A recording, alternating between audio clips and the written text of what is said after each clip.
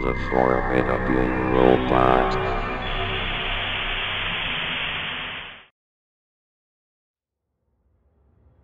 The most watched videos people have seen is the genre, analog horror, with examples like the Mandela Catalog and Local 58. But one of the most intriguing analog horror videos to be shown is the intriguing Nickelodeon based video series, the Nick DVD. Upon watching it, I've gathered what the story was about. Red Mist, the most popular creepypasta, was aired on TV, and now people have been reporting sightings of an evil red-eyed Squidward, and people being possessed by this entity. Of course, it's based on SpongeBob SquarePants, but wow. I mean, wow. This is one of the most cryptic and disturbing pieces of videos I've seen, with backward words, and of course, symbols in the comments. Here's an example of its crypticness. In the first video, Discovery in the comments, you'll see these symbols. Upon looking up the symbols, it turns out to be a galactic alphabet.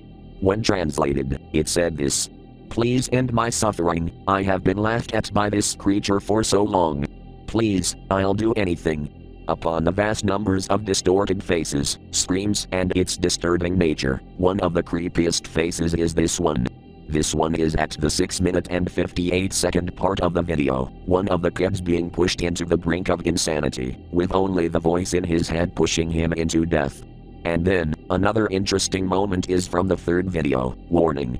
During the trailer for SpongeBob Season 2, it showed an emergency alert system during the trailer about how Nickelodeon had become dangerous. There are more, and more disturbing or interesting pieces to be spotted in the entire series, which included the Nickelodeon training video with the bootleg SpongeBob face, a person being infected by the Red Mist Force, and of course, the Red Mist Squidward talking a phrase in backwards, which couldn't be decoded.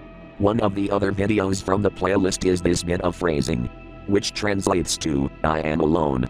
My guess is that red mist is a common representation of depression, but please, screenshot some scenes, analyze the entire series, look for clues. There are so many intriguing pieces in this video series that it'll be a long story listing these off. So for now, the Nick DVD series is kept under the vault.